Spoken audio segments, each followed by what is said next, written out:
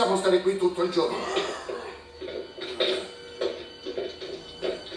Non vorrei trovarmelo sotto il mio letto di notte. È già un incubo di giorno quello lì. Andate via! Via da quella finestra! Eh? Pensa agli affari tuoi e vedi che non scappi. è Via! molto Via! pericoloso. A casa! Via! A questo punto ho cose molto più importanti da fare. Anche noi. Cosa? Buonanotte, signori. Mostro quello. Che sciocchezze.